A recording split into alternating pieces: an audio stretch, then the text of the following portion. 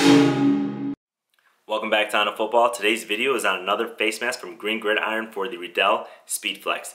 If you've seen some of my other Speedflex face mask videos, you know that Green Gridiron does custom face masks that you can get pretty much any face mask for any helmet from Green Gridiron. So I'm going to review this one. This one is the SF2EG SW. The SF, of course, stands for Speedflex.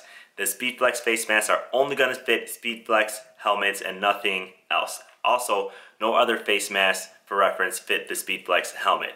The SF again stands for Speedflex. The 2 is for these two bars up here. EG is for eye guard. That stands for the eye guards that are different from some of the other face masks I reviewed already. And the SW stands for single wire. There's not another double wire underneath.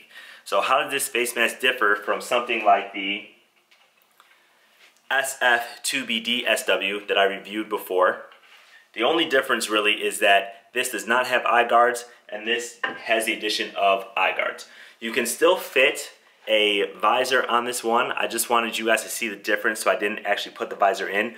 But you can see that the visor clips for an Oakley does fit in between these two bars, which is different from some of the Riddell Speed face mask. So Oakley is going to be one of the biggest visors that are on the market, so that's why I like to test with it, because pretty much if Oakley fits, then any other visor is going to fit. This is also an open face mask. This is for you know any skill position, so quarterbacks can use it, wide receivers can use it, DBs can use it. Um, the thing is that you're gonna have less bars here for a little less protection, but you are gonna have the eye guards. Typically with eye guards, you don't have to use a visor, but visors are very popular now, so of course Riddell made sure that you can still fit a visor in this stainless steel face mask. The eye guards don't really get in the way. Um, you will notice it if you put the helmet on, but I think it is something that a lot of players get used to.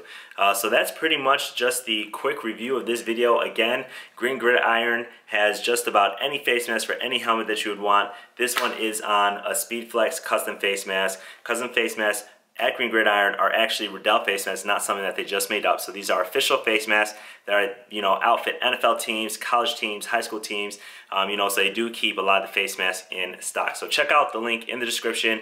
Check out my other face mask videos to see things from Green Gridiron, just other face masks in general. And if you like my videos, remember to give me a thumbs up, share my videos, of course subscribe, and I'll see you guys next time.